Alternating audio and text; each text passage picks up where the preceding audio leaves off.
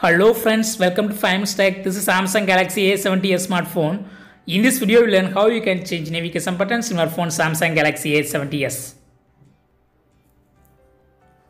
First of all, you need to go to the settings in your phone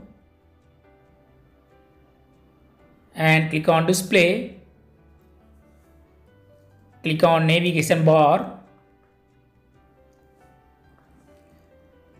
and select another option so this will reverse the navigation keys. For going back, you have to press on the left key.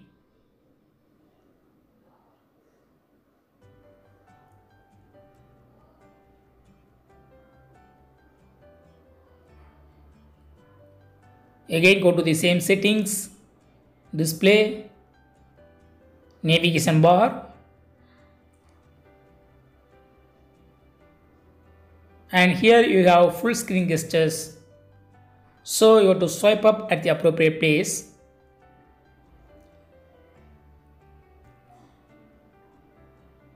For going back just swipe up in the left side.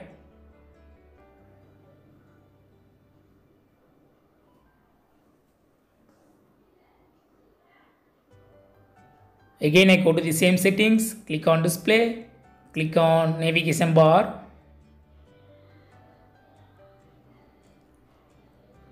and set in default option.